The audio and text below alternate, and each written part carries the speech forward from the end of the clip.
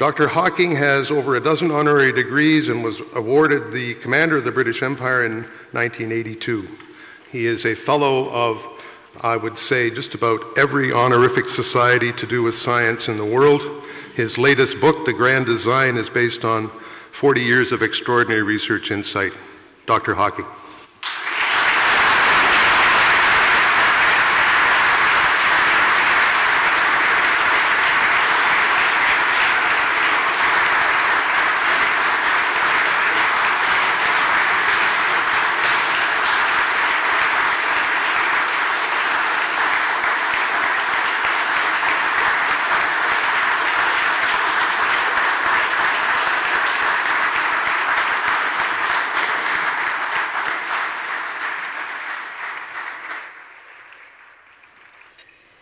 Thank you for that introduction. I am delighted to be here in Waterloo for this occasion of global scientific significance. As you know, I have a research chair at the Perimeter Institute, another star in Waterloo's constellation of world-class research facilities. I am getting to know Waterloo well, and it is clear to me that this place is special.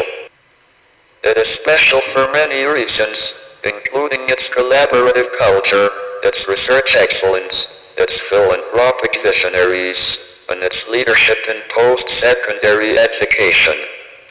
The Mike and Ophelia Lazaridis Quantum Nano Center showcases each of these qualities in the context of this building's architectural genius.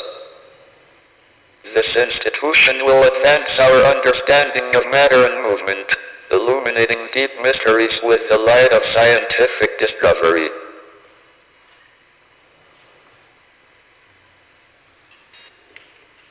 For that reason I am honored to join my colleagues in celebrating the opening of the Quantum Nano Center at the University of Waterloo. Thank you.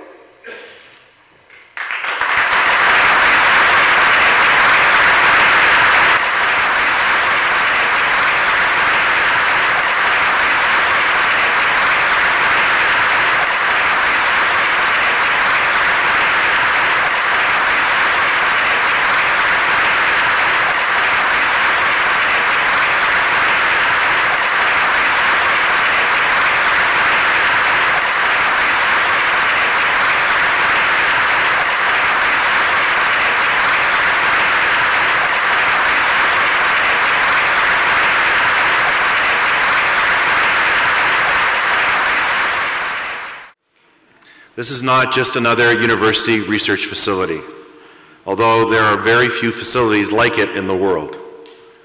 No, the QNC, in my view, is another milestone in a strategic plan that we've been working on together towards since 1999. I believe the work that will be done here will help transform the way we live, work, and play. I believe it will help transform the community in which we live. We have all the components right here in Waterloo. We've recruited and are continuing to recruit the brightest and best minds in physics, engineering, mathematics, computer science, and material science from all over the world. They're exploring, testing, and ultimately challenging the fundamental laws of physics. Some people would say that they're actually trying to break the known laws of physics. The people at Perimeter Institute, the Institute for Quantum Computing, and the Waterloo Institute for Nanotechnology are pushing the boundaries and expanding the previously known limits of science using nanotechnology and quantum information science to enter whole new frontiers. What we're doing here is decoding the rules and laws of the universe. And from that effort will come discoveries, developments, and even products which will change and improve the way we live. This is an amazing community. And my wife Ophelia and I feel grateful that we are in a position to help make this new center a reality for the university and for Waterloo. Thank you. Some of you might know that it is IQC's 10th anniversary, and I think of no better gift than the opening of this fantastic, awesome new building. What makes this building different from many others I've seen are the fundamental criteria at the basis of them. First one is we need to be able to do the science we want to do. We want to be able to manipulate atoms, to encode information with them, to manipulate it, to store it, and to extract it at the end. And it means that the environment has to be very, very strict and stringent. The building is absolutely fantastic, and hope you enjoy visiting it also. Of course, none of this great success would have been possible without Mike, Ophelia, and Doug. Their vision and their passion for deep, fundamental science is inspiring.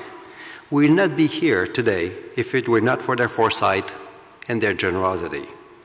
I also would like to thank the support from the federal and provincial government. It is really a team effort to make us happen to come here today. There are many more who have helped uh, making IQC what it is and ensuring the success of the building, and IQC is really indebted to you. Merci beaucoup.